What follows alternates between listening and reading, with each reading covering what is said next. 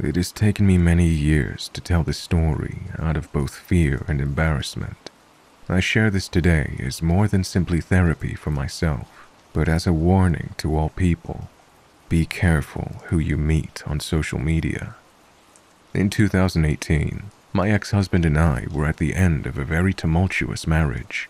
He and I had been polyamorous for about three years before I met this guy. His name was Jez. I met Jez on OKCupid. I was 28 and he was 42. We hit it off very quickly. After a few weeks of talking, I agreed to meet up with him at a restaurant close to my house. We sat and talked for a few hours before I invited him over to meet my husband. Things went very well and they seemed to get along, so Jez and I started dating. This guy completely sweeps me off my feet. Jez was sweet and caring.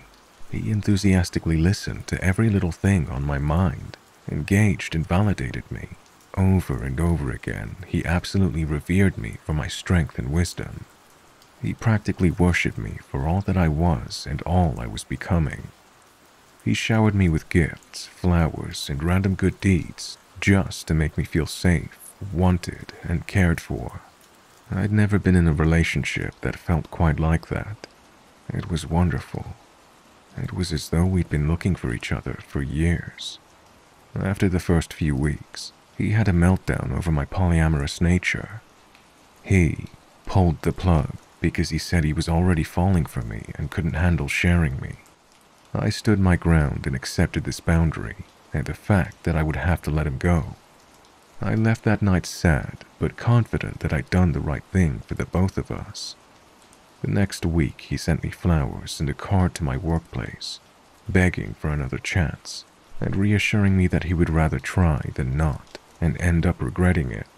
Even though it was scary, he wanted to take this journey with me. We continued dating, and it was just as wonderful. Long nights we spent awake, talking, sharing, laughing, lovemaking, and planning. We went places and did things that I'd always wanted to do.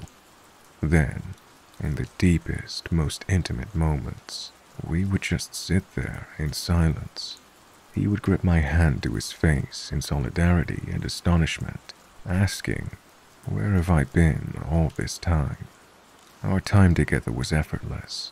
We fit together like puzzle pieces. By August of 2018, my marriage had ended, by no fault of Jez's, and by October, my husband had moved out. I was on a lease at the time and knew I couldn't afford the place on my own, so finding a roommate was essential. I had no support system to fall back on, nor did anyone else I know need a place at the time. So, Jez offered to move in. Even though I was hesitant, we'd only been together about four months, and I knew everything always changes when you move in with a partner. Despite my hesitation, I agreed. He was wonderful to me. How bad could it be? I was not prepared for the change that was to come. It was literally like night and day. Jez suddenly became a different person. He was extremely controlling, jealous, and lazy. Nothing like the person I thought I'd met. And the way he treated me progressively got worse and worse. Hanging out with my friends became a burden, if not impossible, because he would blow up my phone, guilting me about leaving him alone or not involving him in some way. Yet when I tried to, it was also treated as a burden and inconvenience, as he would huff and puff his way through even the concept of leaving space for anyone but ourselves. In December of 2018, we attended my work Christmas party I'd given him the option whether he wanted to go or not. It was really neither here nor there for me, especially because I'd already learned that he really didn't do well if he felt pressured into social situations. I opened the invitation to him because he had expressed to me over and over that it was important for him that he was involved in my social life. For the full month he knew about it, he insisted that he wasn't going. I took it as him being introverted and didn't push the issue. I let him know that I would make sure he felt welcome if he decided to go, but not to feel obligated. I was surprised when he changed his mind at the last minute and insisted on going. and even more stunned when we went, and he actively acted as though he did not want to be there. Everyone there was incredibly welcoming and included him in the festivities and conversation. However, he still practically grumbled the entire night about the whole thing, mumbling insults and critiquing every little part of the party under his breath, as though being there was absolutely awful to have to endure. No one really seemed to notice the low whispering insults and gripes. At one point, after a couple of glasses of wine, my direct manager leaned into Jez and started praising him. She and I were very close, therefore she was intimately familiar with what I'd gone through with my ex-husband. I am so, so happy she has you, she bleated through, wine happy. You have been absolutely transformative for her. It's so nice to see her finally happy and appreciated. Without missing a beat, Jez grimaced at the comment and quickly snapped back. You don't fucking know me. I honestly didn't believe my ears. It was one of those moments where time stops and you just know you couldn't have heard that correctly. I sat, brewing on it for a minute before another light-hearted interaction with Jez prompted me to suddenly snap at him through grit teeth. Stop it. This triggered me and I lost it. I pulled him outside and asked him what his problem was. I called out his behavior and told him if he was going to act that way, then he could just leave. That if he didn't want to be there, he should have stayed home. He ended up giving a sort of half-assed apology, and we went back inside and finished the party. I remember the drive home that night, staring out the dark window at nothing in particular, in worried silence. I might have messed up, was my only thought through the entire drive.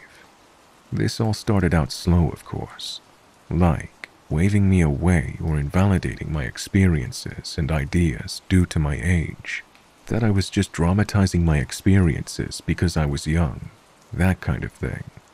The man who, not six months prior, had validated me, my trauma, and experiences to the ends of the earth.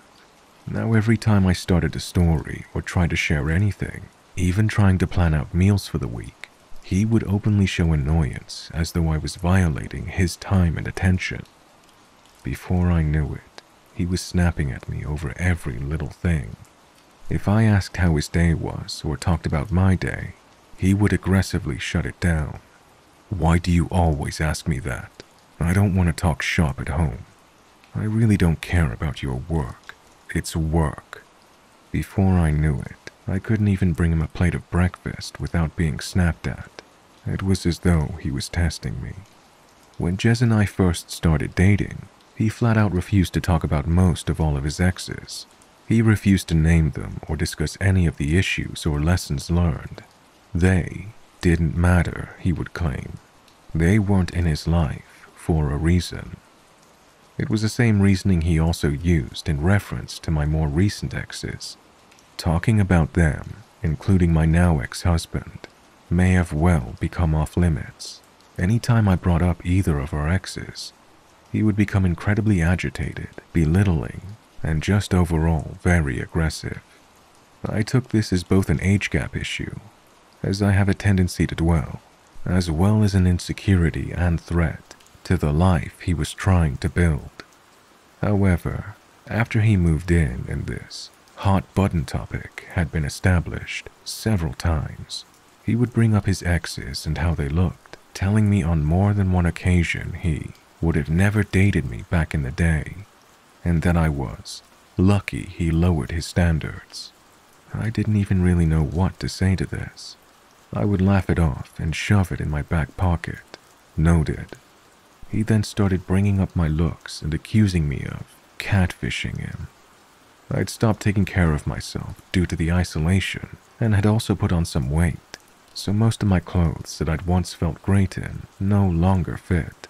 And since Jez had also been dishonest with me about his financial position, he was always needing extra money here and there, leaving me broke almost all the time. The horrible tragedy happened that following summer, while Jez and I were together.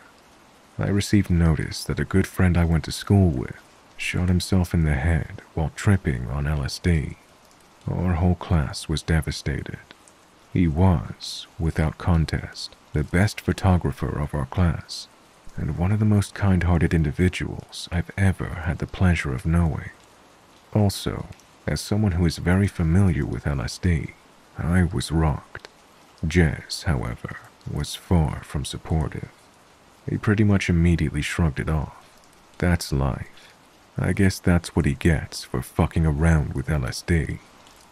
I was baffled at such an unsympathetic response, and even more later when Jez started to interrogate me about my relationship with this guy, asking when the last time it was that I'd ever talked to this friend.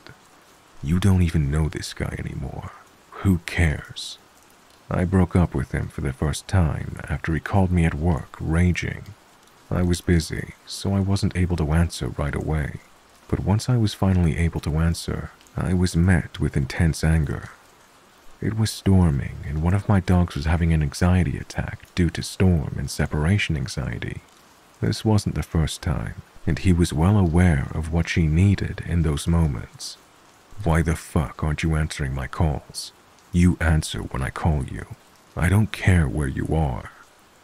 He went on for a few minutes, calling me a shitty girlfriend and laying into me over my sudden distance and lack of communication while I was at work. At this point, I was done and I lost it. I tore into him over everything, especially causing problems for me at work.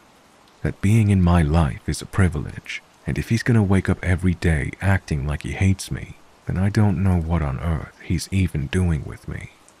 I told him that I expected him to get his things and leave. I didn't want him there when I got home, and we could coordinate times for him to come and get the rest of his stuff. He flat refused, suddenly victimizing himself, claiming he had nowhere to go. How dare you make me fall in love with you? How dare you take me to meet your father and then dump me? My manager and her husband ended up following me home that evening because she was concerned for my safety and had offered to let me stay with her for a few days. I will never forget the scene I walked into, like Theon Greyjoy begging for his life. My boss stood next to me, watching as this 42 year old man crawled on his knees before me, begging for mercy and communication. At one point, wrapping his arms around my legs, crying into them. I can't believe this is happening. She's the love of my life, you know that, he cried to my boss. I couldn't believe what I was witnessing. This was the antithesis of a heartless person I'd been spending my days with. I shook him off and went to the back of the house, gathering enough of my things to get me through the next few days, as well as any and all valuables I could think of. It took a few days, but after about a week, Jez started blowing up my phone. Apology after apology. Suddenly, he was the man I met again, full of humility and self awareness. He acknowledged the awful way he had treated me and sent me walls and walls of well thought out messages, psychoanalyzing his own behavior, where it comes from, and the ways he knows it needs to change. I took him back. Like a dumb, desperate girl, I took him back. It wasn't long into the second round that he started to guilt me over the breakup. My panic had damaged his relationship with the people in my life and he made sure that I knew it was my responsibility to fix it. It wasn't long after this that my car ended up breaking down at a gas station close to home. There was a very nice couple in the vehicle next to me that came to my rescue and checked things out under my hood. The gentleman turned out to be a mechanic for a living, so we had a good theory about what could potentially be going on. By this time, I'd already attempted to contact Jez to let him know what was going on and where I was. It wasn't long till he got off work, so he told me to sit tight and he would be there shortly. Meanwhile, this sweet couple stayed put and kept me company while I waited. Jez barreled in about 15 minutes later, completely ignoring the couple that had helped me. Touching base, the gentleman handed me a slip of paper with a name and phone number on it reviewing what he thought was going on with my car, before Jez butted in, cutting him off. I said she's fine, he snapped. I could see the woman out of the corner of my eye slink away at this comment, and get into the passenger seat of their car. I could feel the sudden tension, like maybe she's been here before. The gentleman didn't move and shifted his attention to me as Jez walked into the store. I could see he was clearly concerned. Are you okay? He asked in a low, almost whisper. You don't have to answer that, but if you need anything. He looked down at the number in my hand and nodded to it. Seriously. With that, he got into the driver's seat of his car and drove away. I thought about that couple countless times since that night. Everything went right back to the way it was before, as though the initial breakup never even happened. The same eggshells, the same belittling. If anything, it was worse, because I had permanently damaged our relationship. If I had just not been so dramatic, if I didn't run away from everything, then maybe he wouldn't have to work so hard for respect in my life. One night we got into an argument. I don't even remember what it was about, but I had to be up early for work the next morning, so I paused the argument in order to get some sleep. When I went to lay down, I heard the TV turn on. I have a soundbar, so the volume can get pretty loud. Jez proceeded to turn the volume up and up and up, far past any volume I ever pushed those same speakers to, even for parties. The walls were reverberating with the sound of the TV at astronomical volumes. Jez then started laughing hysterically. It was a laughter manic with anger as though something might be funny on TV, but he might also jump through a window right now. I remember laying in bed, absolutely horrified at what was happening. I knew things had gotten bad, but now I was scared. I got out of bed and asked him to turn it down, to which he responded, scoffing, I'll watch TV if I fucking want to, and turned it up even louder. I felt like I was in a horror movie. I started crying at this point, begging him to please, please just let me sleep. He started mocking me and calling me names for crying. Oh, wow. Poor baby is crying again. That's your card, isn't it? Crying.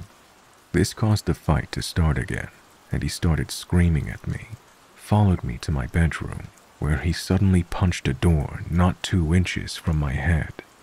His eyes were black, and he looked me in the eye, sending the clear, unsympathetic, and hostile message that that was a warning, and next time he wouldn't miss.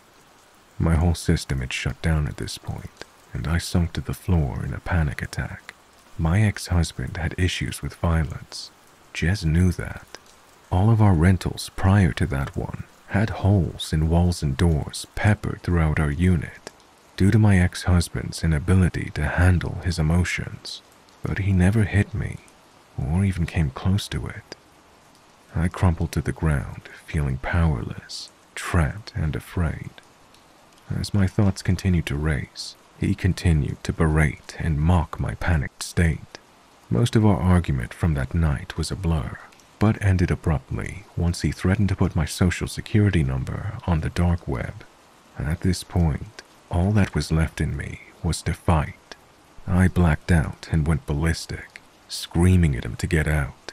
I felt rabid and dangerous as I screamed like a banshee for him to leave my home. It was over, and I was ending it that second. I contacted my landlord and explained what had been going on. Jez would also end up contacting her, weaving his own tale that I was moving out and tried to have the lease transferred into his name. Luckily, since I was several steps ahead of him, my landlord didn't fall for it and contacted me immediately she personally came and changed my locks for me, gave me the personal contact of a police officer close by in case he showed up again, and took half off my rent for the next month. I am forever grateful to her for these simple acts of kindness that were above and beyond anything I would ever expect from a landlord. It took weeks for him to stop messaging me. The only reason I didn't block him was out of fear that he would show up at my house. Though I had contacts for protection, I knew I would rather get a daily apology video than have to deal with him on my doorstep. So they persisted, for a while. The same act from before.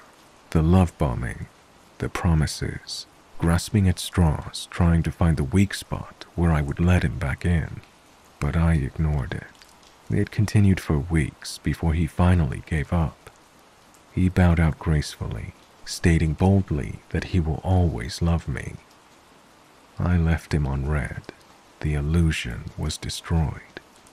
It took me several years to pick up the pieces. If my divorce wasn't enough, this definitely made me lose trust in myself. I still don't understand what the endgame was. In one of our last discussions, I asked him desperately, what happened to the guy I fell in love with? Jez looked me dead in the eyes, smirked, and said, That guy doesn't exist. I told you what I had to tell you in order to get you away from that fucking asshole of a husband of yours. You were just stupid and fell for it. Jez, let's not meet ever again.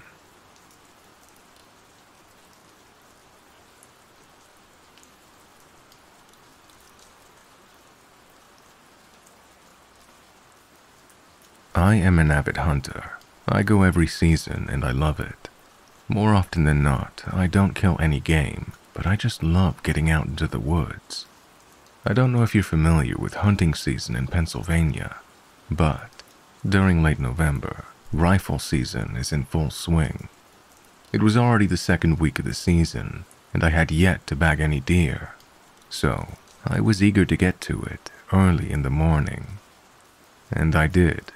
I normally get up around 5 a.m. and drive to my hunting spot. It's private land that my grandfather owns. Him and I are the only two who hunt on it, and the rest is posted to hunters. The only others on the land are employed on my grandfather's farm. I had originally planned on calling my grandfather when I woke up and asking him if he wanted to tag along, but the weather that morning was horrendous. Snow was pouring down, and the wind was really strong. I love hunting in the snow, but it almost made me decide not to go. So I knew he wouldn't want to. The roads were really bad, so it took me a bit longer to drive there. Normally, the sun would be starting to rise by now. However, it was overcast and snowing.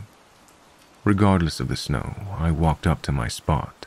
It was directly behind my grandfather's house, over a hill and back about a 100 to a 150 yards.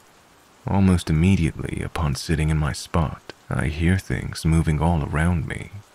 Honestly, I didn't pay it much mind.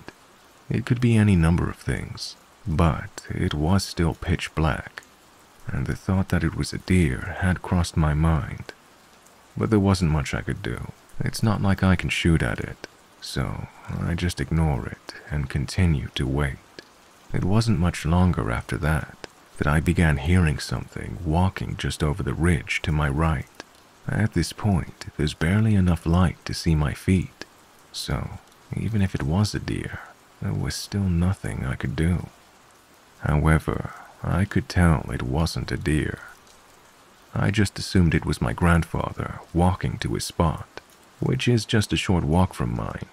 But the lights in his house were off and if he was hunting up here, I'm sure he'd let me know prior. But even if it wasn't him, it was a hunter, albeit hunting illegally.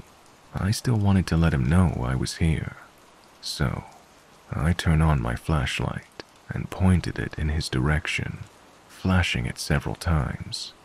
Again, even if it was a deer, I couldn't shoot. So, I felt it was better to be safe rather than sorry. Nothing much happened after that. After I flashed my light, the noise stopped, which was really odd. I didn't hear them turn back, so I figured they either A.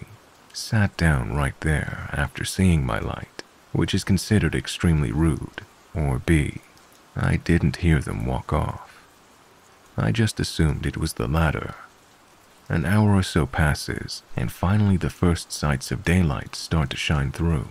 It's still snowing, and the snow is falling in entire snowballs rather than snowflakes, so visibility is pretty limited. But I just grinned and bared it. I love snow, and even if I couldn't see any deer, I still found the weather beautiful. It was around this time that I noticed an odd looking lump protruding out from a group of trees and shrubs atop the hill that separates me from my granddad's house. It was right where I heard movement earlier. It looked like a mound of dirt. However, it was sticking out from the side of a tree. So, obviously, it wasn't dirt. Naturally, I raised my rifle up to take a closer look. I could tell immediately that I was looking at the side of an older style camouflage coat. It took a minute, but it finally clicked. That was a person over there. I just thought it was a hunter, so I didn't know what to do about it. I knew he was hunting on our land illegally, and from what I could see, he wasn't wearing anything orange, which is required of all hunters during rifle season.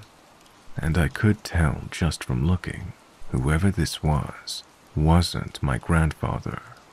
I sat there for a minute, debating my next move, but I decided to call my granddad at the risk of blowing his hunt if that was him over there. So, without taking my eyes off the guy, I pulled out my phone and dialed his number.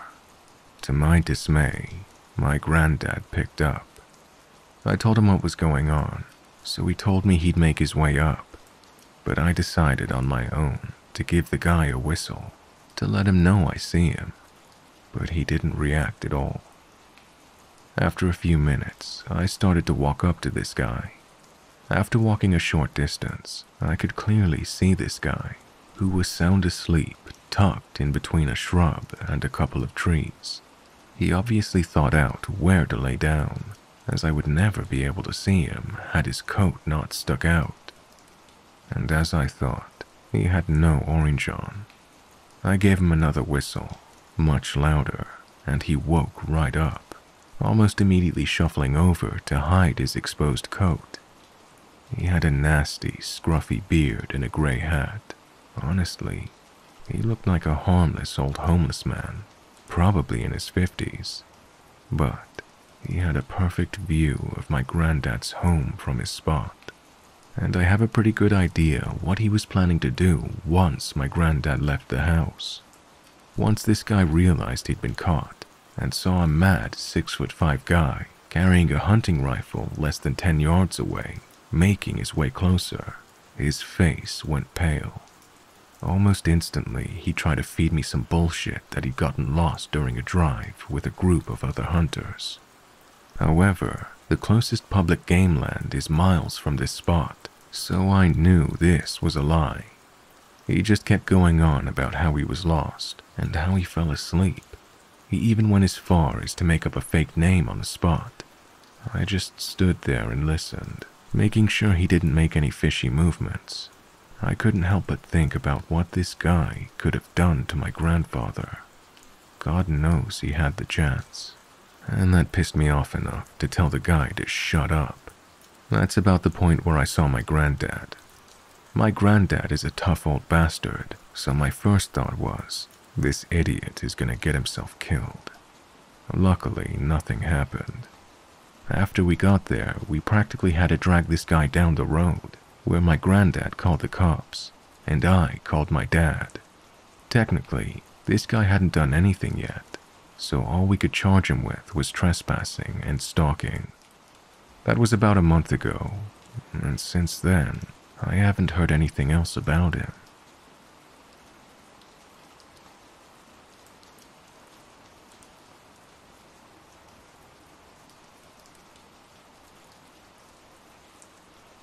I was a recent college grad and dating a guy who had matriculated in my same class. He moved out to the suburbs soon after graduating for a new big boy job. I stayed in the city and lived in an apartment with a roommate, but being young and in love, I would often schlep the 30 or so minutes in irritating traffic to hang and inevitably spend the night. Looking back, he rarely came to visit me, which was the sort of vibe that led me to eventually breaking things off. Anyway, my boyfriend lived in a duplex in one of those labyrinthine cookie cutter subdivisions and shared it with two other people. These were virtual strangers that he'd found through Craigslist. There was one roommate who was so chill that I don't remember him or her at all.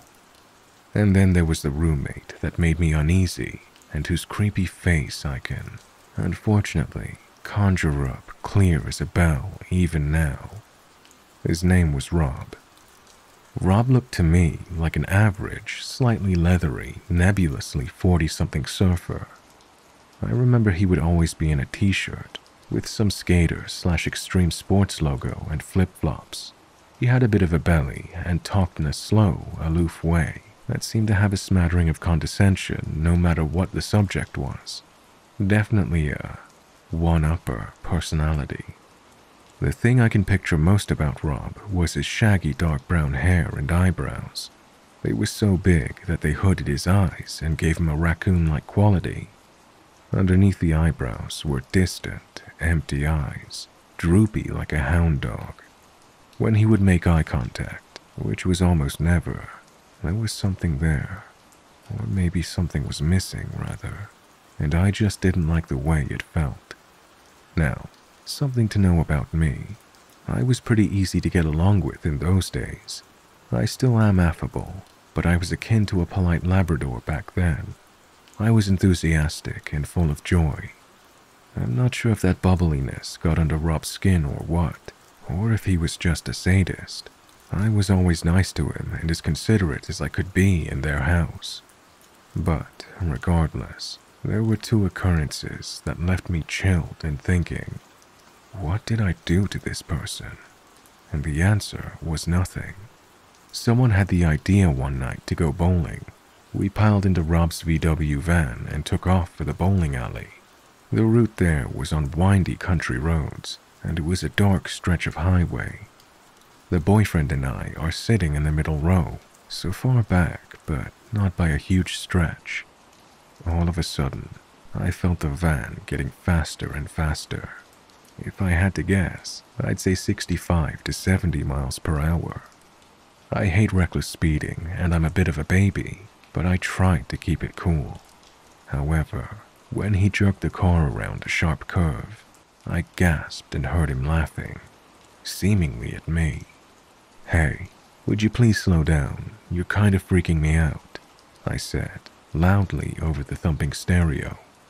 My tone was still friendly, but serious and obviously nervous. He turned up the volume on the radio and accelerated the van. My heart was slamming, and I was really, really scared.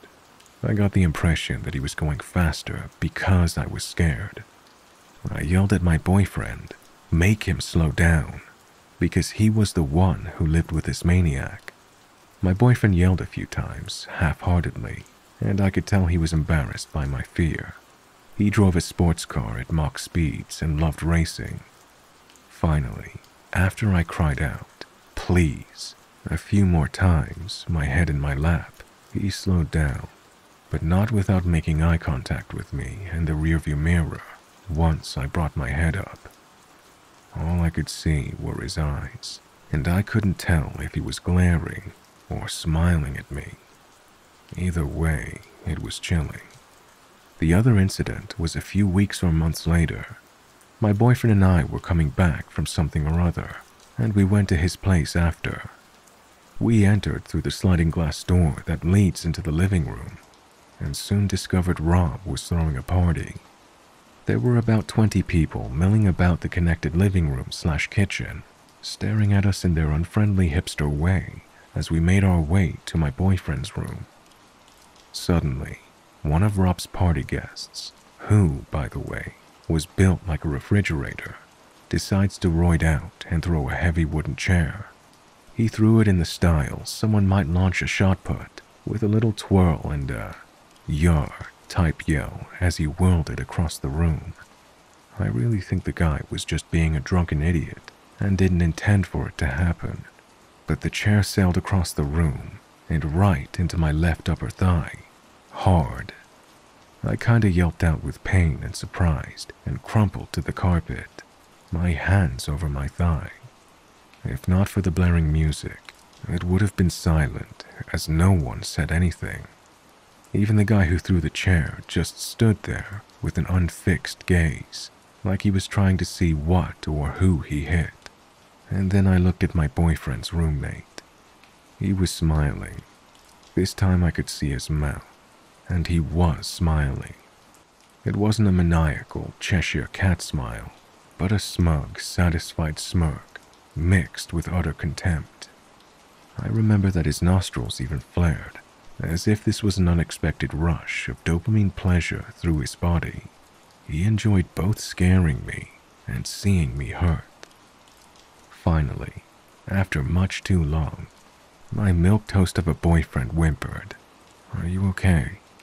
To which I said, No, help me up, admittedly a little testily. My eyes were watering with humiliation at the situation, the bone deep radiating pain, everyone just staring at me, and this man I barely knew feasting his eyes on my distress. I got out of that relationship not long after and felt so relieved to never have to go back to that toxic vortex again.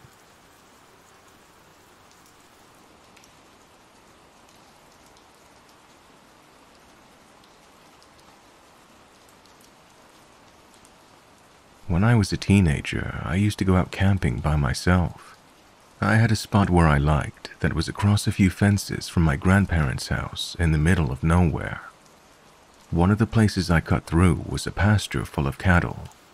Around cattle, especially cattle unfamiliar with me, I try to be very careful to not spook them, but otherwise, cows are pretty easygoing. This was about a mile from my grandparents' house and probably about two from my destination. The one time I remember, I slipped through the fence to find the cattle already freaked out. They were insanely agitated about something I was not aware of, so I stayed well clear of them as I went through the pasture. I had a good time camping that night and packed up the next morning. As I went back into that pasture, however, there was this ridiculously bad smell. It smelled like a skunk had fought with something in a fertilizer barrel of shit, and the barrel broke open. It was awful. I tried to look around for the cows to make sure they were not going to surprise me, and I could not find them. They were just gone. There was some brush and trees, though, so I thought they were just out of sight. I keep walking through the place to get home, and the smell is so bad that I set my stuff down at the fence line and decide to investigate. Well, I found the cows. All of them were shot and ripped apart. Someone had carefully shot them in the head with a bolt gun style thing and eviscerated all of them. They'd also drug them all into a little shallow ravine and piled the bodies up. It was horrible. I hightailed it out of there back to my gear my stuff was gone. As in, I set it right here on this rock, and it's not within eyeshot. A quick glance showed me there was not anything ripped out or fallen out, so something, or someone, had picked it up while I was 200 yards away for less than five minutes. I think Usain Bolt would not have been able to catch me on the way home. I've never heard anything else about those cows, and I did not go back to the old camping spot again.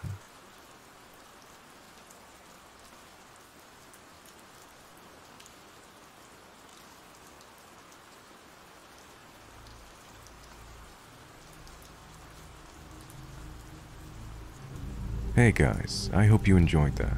If you have a scary story of your own to share and you would like me to feature it on the channel, please send it to the email in the description. Or if you prefer, head over to my subreddit, r slash stories from Mr. Revenant. It's the stories that keep the channel going. Thank you all for listening, and thank you to my channel members and patrons. Karen Keating, V. Berry, LJ, Fiona X Fox, Scott, I Like Booty, Monica Level Ace, Chris and Donna, Holly Spry, Kimber, Jasmine, Sanatix, Heather Haven, Kitty Cat Luna 2, ADHD Aurora, Janice, Cinderella Baby, Borderline Betty, Lady Dracard, Erica Nicole, Snowball Rathina, Melanie, The Honeybee 987, Pretty Girl 215, Ryan, Brooke, Wendy, Crafty Cal, Tina, Dina, Vampy Debs, Patricia, Amber, Krista, Brenda, Absinthe Alice, Christy, Kay, Spider's Web, Ooh La La Andrea, Sue, Monique, Sean Gorman, Emma Lisa, Sigma Cube X, Greg, Chelsea, Amanda Jane, Sam, Zeb Teppy, Sarah C., Austin, Tegan, Lil Smart, Jenny, Gabrielle, Fire05, Sarah P., James Gargano, Gemma Allen, and Alex. I hope you're all doing well, guys. I'll see you all on the next one.